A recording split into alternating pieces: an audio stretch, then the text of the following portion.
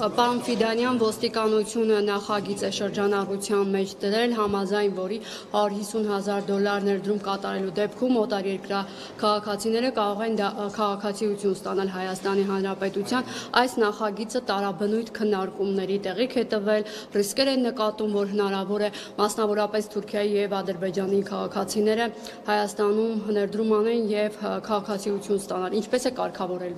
այդ հարցերը։ Շնորհակալություն, նախ պետք է նշել, որ բացառապես 150 հազար դոլարի ներդրման դիմաց չէ, որ կարող են քաղաքացիություն ստանալ, այլ նաև սահմանում ենք այլ չափարոշիչներ եւս։ Դա առաջինը, երկրորդ, ինչ ձեր այդ մտահոգող հարցին այո դրվել է շրջանառության եւ նաեւ հանրային քննարկման, ինչի նպատակն է հանրային քննարկման ստանալու այն կարծիքները, դիտարկումները, որոնք հուզում են մեր համակարգացիներին եւ սա դեռ նախագիծ է, Իսկ առավել մանրամասն, սա օրենքի նաև նախագիծ է, մանրամասն դրույթներ կսահմանվեն արդեն կառավարության համապատասխան որոշմամբ, ինչի արդյունքում միանշանակ այն ռիսկերը, որոնք որ տեսնում են ոչ միայն մեր համակարգացիները, այլև մենք դրանք հնարավորինս կբացառվեն։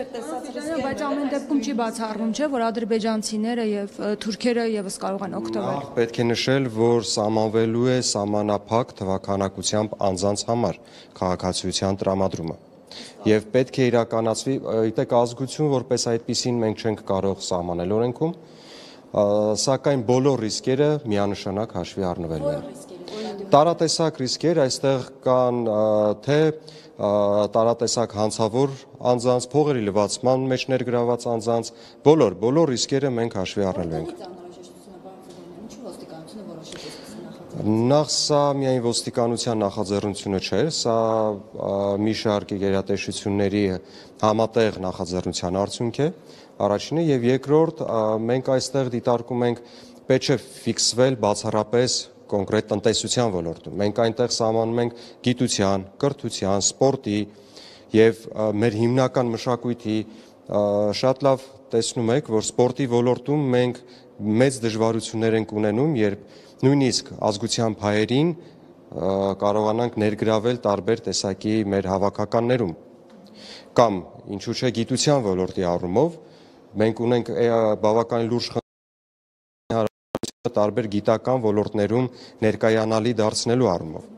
եւ դրանով է պայմանավորված, որ այս նախագիծը դրվել է շրջանառության մեջ, կրկնեմ, սա դեռ նախագիծ է։ ինչու 150 հազար դրամի պարագայում ինչու ավելի բարձր գումարային շեմ չի նախատեսվում։ Շնորհակալություն, այդ հարցը իդեպ ամենաշատ քննարկող հարցն է եղել եւ այժմ էլ շարունակվում է։ Պայմանավորված է նրանով, որ կան մի շարք երկրներ, մենք ուսումնասիրել ենք արտասահմանյան երկրների փորձը եւս, եւ կան երկրներ, որտեղ որ հիմնականում 150-200 հազար դոլարի շեմն Եվ մենք եթե ցանկանում ենք իրապես ապահովել գրավչություն, պետք է այս պարագայում նաև կարողանանք ապահովել մրցակցությունը համապատասխան երկրների հետ։ Ֆիդանյան, այսինքն տեսականորեն չի բացառում, որ օրինակ Ադրբեջանի քաղաքացին այդ ներդրումը կատարի եւ քաղաքացիություն ստանի։ Մենք բոլոր ռիսկերը հաշվի առնելու ենք։ Այստեղ շատ հարաբերական է Ադրբեջանի քաղաքացի ասածը։ Նույն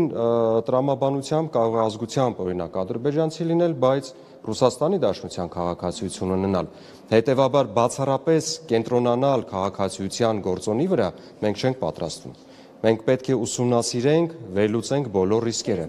Եվ կառավարության որոշմամբ մենք հնարավորինս բոլոր ռիսկերը կփորձենք հարթել։ Ոնց եք չեզոքացնելու այդ ռիսկերը, եթե տրվելու են համապատասխան լիազորություններ։ Իհարկե, կրկնում եմ, որ ունենալու ենք սահմանափակ թվականակությամբ անձանց քաղաքացիություն այդ կարգավորումներով տարվա կտրվածքով տալու հնարավորություն։ Այսինքն ուսումնասիրելու ենք բոլոր ներկայացված հայտերը, առաջարկները եւ կարծում եմ կստեղծվի հանձնաժողով, որի արդյունքում նոր մենք կգանք որոշակի եզրանք։ Պարոն Ֆիդանյան, աշխարհում սովորաբար երկրների փորձը ովքեր որ պատերազմական իրավիճակում են խնդիրներ ունեն հարևանների հետ ցույց է տալիս, որ նրանք առանձնապես ճռայ չեն քաղաքացիություն տալու, քաղաքացիություն շնորհելու հարցում, էլի։ Ինչու Հայաստանը ի վերջո խնդիրներ ունի եւ մեծ ռիսկեր կարող են առաջանալ։ Շնորհակալություն, բայց թույլ տվեք չհամաձայնվել ձեր այդ դիտարկման հետ, որովհետեւ կրկնեմ, մենք ուսումնասիրել ենք բավականին խորությամբ եւ այն երկրների շարքում, որոնք որ նման մտածում են որթեգրել, կան նաեւ երկրներ, որոնք իրենց հարևան պետությունների հետ ունեն խնդիրներ։ Ողջ